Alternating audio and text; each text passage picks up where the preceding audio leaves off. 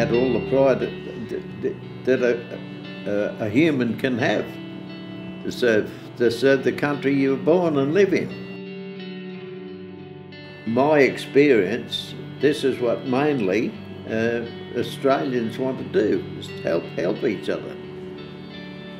Be friendly and be familiar with them. It, it, it's the day of the year when the whole of Australians celebrate being Australians.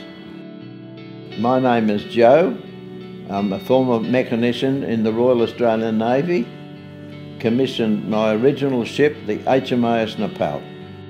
I joined in 40 and paid off in 60. 20 years I served.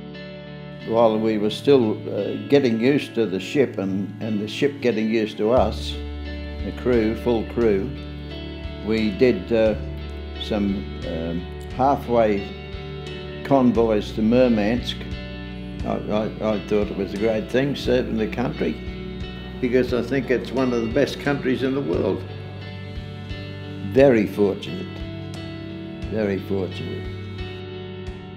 When you're coming back to Australia from up in the islands and that, you always knew that you were close to Queensland because the the uh, the Queensland radio would be all country music, and you knew you were getting close. but this country's been lucky.